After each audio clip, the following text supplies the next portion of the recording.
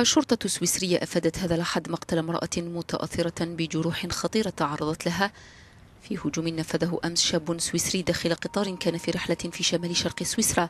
توفي هو الآخر متأثرا بجروحها. يأتي هذا في الوقت الذي لا تزال فيه التحقيقات متواصلة بشأن هذا الهجوم والذي استبعدت الشرطة من أن يكون عملا إرهابيا.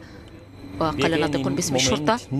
نحن لا نتعامل مع ما حدث على أنه عمل إرهابي أو أن تقف وراءه دوافع سياسية أو دوافع كراهية الأجانب لا توجد مؤشرات تدل على ذلك كما لا توجد مؤشرات أيضا على أن الجريمة تمت بدوافع عاطفية لا نملك أي معلومات عن دوافع ما حدث. ونعتقد بأنه عمل منعزل.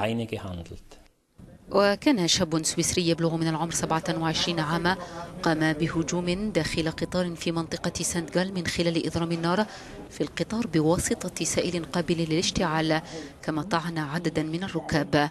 كانت الشرطة في أعقاب الهجوم قد أشارت إلى إصابة سبعة أشخاص.